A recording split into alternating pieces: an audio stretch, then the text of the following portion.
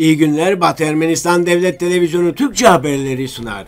Batı Ermenistan, Aleksandret İskenderun. Eski Fransa Başbakanı, Berzor yolunun kapatılması yasa dışıdır. Artak Beklaryan, Artsah Ermeni halkının ortak iradesi ve çabasıyla sonsuza kadar Ermeni olarak kalacaktır. Enkazdan 3 yaralı ve 20 ceset çıkarıldı. Ermeni kurtarıcılar Batı Ermenistan ve Suriye'deki çalışmalarını özetledi. Batı Ermenistan'ın eğitim merkezleri Berberyan Okulu. Bugün Batı Ermenistan'ın ünlü evladı Misak Manuşyan'ı anma günü. Konstantinopolis doğumlu Ermeni fotoğrafçı Ara Güler hakkında film çekilecek. Batı Ermenistan'daki Aleksandret İskenderun şehri varlığı boyunca farklı isimler aldı. Örneğin Aleksandret, Aleksandria, İskenderun, Katison gibi.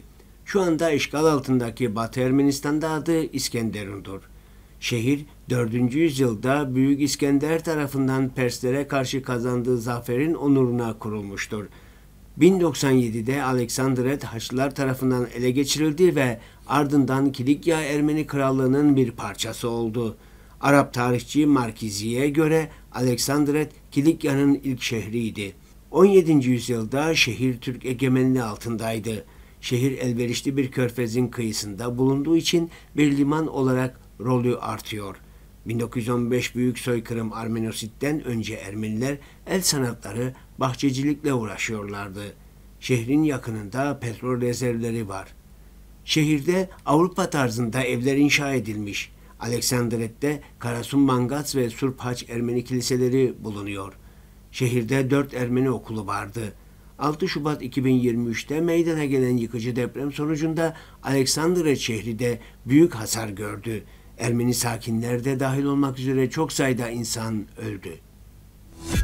Fransa'nın eski başbakanı Le Havre Belediye Başkanı Edward Philippe, Berzor yolunun Azerbaycan tarafından ablukaya alınmasını yasa dışı buluyor ve Ermenistan Cumhuriyeti topraklarının Azerbaycan tarafından işgali vesilesiyle Ermenistan Cumhuriyeti'nin toprak bütünlüğünün müzakere edilemez olduğunu ve korunması gerektiğini vurguluyor. Edward Philip aynı zamanda Azerbaycan'da tutulan Ermeni savaş esirlerinin ana vatanlarına iade edilmesi gerektiğine işaret ediyor. Ermenistan Cumhuriyeti'ni ziyaret eden Edward Philip bu düşüncelerini Armen Press'in sorularına yanıt olarak ifade etti. Edward Philip özellikle şöyle dedi. 70 günü aşkın süredir devam eden abluka yasa dışı ve gayrimeşrudur. Azerbaycan sebepsiz yere insani kriz yaratıyor. Rusya Federasyonu ise sorunu çözmek için hiçbir şey yapmıyor. Ermenistan Cumhuriyeti'nin toprak bütünlüğü müzakere edilemez ve korunmalıdır. Uzun bir zamandır Avrupa Birliği uzak duruyor. Sivil nüfusu sakinleştirmede olumlu rol oynayabilecek olan Avrupa Birliği misyonunun Ermenistan Cumhuriyeti'nde konuşlandırılması ile ben artık rahatım.'' tüm savaş esirleri ana vatana iade edilmeli ve kayıp kişilerin akıbeti aydınlatılmalıdır. Ayrıca bölgenin kültürel mirasının tam olarak korunması ve savunması gerekmektedir. Fransa Ermenistan Cumhuriyeti ilişkilerini ve işbirliğine ivme kazandırmak için daha yapılacak çok şey var. Batı Ermenistan, Edward Philip'in açıklamasını olumlu değerlendirirken aynı zamanda Fransa'nın da Minsk grubu eş başkan ülkesi olduğunu ve bu konuda yerine getirmesi gereken bazı yükümlülükleri olduğunu hatırlatıyor. Artak Cumhuriyeti Devlet Bakanı'nın danışmanı Artak Beklaryan kendi sosyal medya hesabı Facebook sayfasında şunları yazdı. Halkımız Artak hareketinin ana hedeflerine nihai olarak ulaşana kadar hareket ve mücadele kesintisizdir ve bu hedeflerden geri adım atılamaz. Artsah, Ermeni halkının ortak iradesi ve emeği ile sonsuza kadar Ermeni olarak kalacak ve Artsah halkı asla kendi topraklarında yabancı boyunduru altına girmeyecektir. Özellikle kuşatma altındaki hemşerilerime kendi gücüne ve geleceğine güç ve inanç diliyorum.'' Batı Ermenistan, Ermenistan devletinin bir parçası olan Artsak'ın haklarının korunması alanında mücadelesini sürdürüyor. Avrupa Mahkemesi'nde Batı Ermenistan'ın Azerbaycan'a karşı açtığı davalar olduğunu da bu arada hatırlatalım. Ermenistan Cumhuriyeti'nin Ulusal Kriz Yönetimi Merkezi'nin operasyonel vardiya başkanı arama kurtarma servisinin yarbayı Garik Avramanyan, Batı Ermenistan ve Suriye'nin afet bölgesinde yapılan çalışmaları özetledi. Yarbay Garik Avramanyan, kurtarıcıların çalışmalarını şöyle sundu. Ermeni kurtarıcılar Batı Ermenistan'ın Samosat Adıyaman şehrinde ve Suriye'nin Halep şehrinde konuşlanma üssü kurdu. Afet bölgesinde yaklaşık bir hafta süren arama kurtarma çalışmaları sonucunda uluslararası kurtarma uzmanı olan Ermeni arama kurtarma ekipleri diğer yerel ve uluslararası ekiplerle işbirliği içinde Batı Ermenistan'daki afet bölgesinin enkazından 3 yaralı çıkardı köpek ekiplerinin de aralarında bulunduğu geniş çaplı arama çalışmaları sonucunda iki ülkede enkaz altından 20 ceset çıkarıldı. Halep'teki Ermeni kurtarma ekipleri arama kurtarma çalışmalarına paralel olarak yerel Ermeni toplumu için depremde nasıl davranılacağı konulu bir eğitim kursu düzenledi.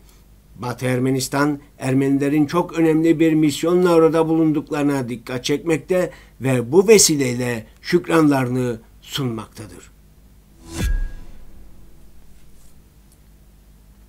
Berberyan Okulu 1876 yılında Roteos Berberyan'ın çabalarıyla Konstantinopolis İstanbul'un Kadıköy semtinde kurulmuştur. Mezunlar Avrupa ülkelerindeki üniversitelerde eğitimlerine devam etme hakkına sahipti. Okulun eğitim öncesi anaokulu, gündüz ve yatılı lise bölümleri vardı. Daha yüksek sınıflar uzmanlıklara göre branşlara ayrılıyordu. Bilimsel, edebi, ticari, pedagojik. Eğitim Ermenice, Fransızca, İngilizce, Arapça dillerinde verildi. Kursu tamamlayanlar eğitim veya bilim tacı derecesini aldılar. 1914-1918 yılları arasında gerçekleşen Birinci Dünya Paylaşım Savaşı sırasında kapatılan okul, savaş sonrasında okul öncesi ve lise bölümleriyle yeniden açılmıştır. Yabancı okullarda okuyan Ermeni öğrenciler için pazar kursu açıldı. 1924 yılında Mısır'a nakledildi ve aynı programla çalıştı. Okulun Ruben Sevak, Şahan Şahnur, Vahan Tekeyan, Hovannes Hintliyan ve diğer bilim ve kültür figürlerinin de aralarında bulunduğu yaklaşık 450 mezunu oldu. Maddi imkanların olmamasından dolayı 1934 yılında kapatılmıştır. Misak Manuşan, Batı Ermenistan'ın Harbert eyaletinin Samosat, Adıyaman şehrinde doğdu. 1915 yılında Ermenilere yönelik soykırım Armenosit sırasında annesi ve babası katledildi. Kardeşiyle birlikte Suriye'ye gitti. 1925 yılında Fransa'ya giderek önce Marsilya'ya sonra Paris'e taşındı. 1935-1937'de Paris'te şiirlerini de yayınladığı haftalık Zangu gazetesinin editörlüğünü yaptı. 1935'ten itibaren Ermeni Yardım Komitesi üyesi ve 1937'den itibaren komitenin Merkez Yönetim Kurulu üyesiydi. 1930'ların başından itibaren diaspora Ermeni basınında şiirleri yayımlandı. Fransız direniş hareketinin bir savaşçısıydı. Birçok vatanseverlik, politik ve lirik şiirler yazdı. İkinci Dünya Paylaşım Savaşı'nın ilk aylarında Almanya bir dizi Avrupa ülkesini fethettiğinde birçok insan gibi oda tutuklandı ve bir toplama kampına atıldı. Üç ay sonra kamptan kaçarak Paris'e döndü ve eşi Meline Manuşyan ile Fransız vatanseverlerin Alman işgalcilere karşı mücadelesine aktif olarak katıldı. 1943'te Paris ve çevresindeki serbest nişancıların ve uluslararası partizan müfrezelerinin komutanlığına atandı ve 3 ay sonra grubunun 21 üyesiyle birlikte tutuklandı ve Paris'in Süren adlı banliyosundaki Formon Valerian Kalesi'nde idam edildi. Paris, Marsilya ve diğer Fransız şehirlerinde bir takım sokaklara, okullara, parklara Manuşya'nın adı verildi, onun anısına anıtlar dikildi. Ölümünden sonra Fransa'nın Onur Lejyonu nişanı ile ödüllendirildi. Fransa Ulusal Kahramanı unvanına layık görüldü. 2009 yılında Fransa'daki Ermeni yönetmen Robert Gedikyan, Manuşyan ve silah arkadaşlarını anlatan Suçların Ordusu adlı filmi çekti. Dünyaca ünlü Konstantinopolis İstanbullu Ermeni fotoğrafçı Ara Güler hakkında biyografik bir film çekilecek. Filmin yönetmenliğini Ermeni Aren Perdeci ve Türk Ela Almayanç üstleniyor. Onlar 2015 yılında Ermenilere uygulanan soykırım Armenosidi sürgün olarak anlatan Türk yapımı ilk uzun metrajlı Yitik Kuşlar adlı filmin yönetmenliğini de üstlenmişti.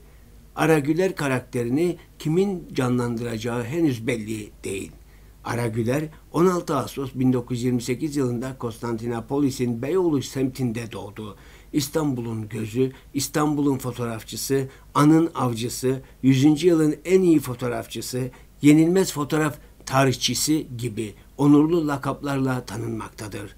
Aragüler kariyeri boyunca Winston Churchill, Maria Callas, Salvador Dali, Pablo Picasso, Indira Gandhi ve diğer ünlüleri fotoğrafladı.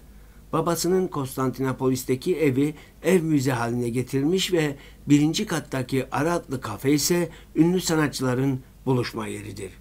Ara Güler 17 Ekim 2018'de hayata veda etti ve Konstantinopolis'in Şişli Ermeni mezarlığına defnedildi. Bugün için bu kadarını öngördük. Şimdi size Duduk ustası Ovannes Gazaryan tarafından icra edilen Ermeni halk şarkısı Dile Yaman adlı eseri sunuyoruz.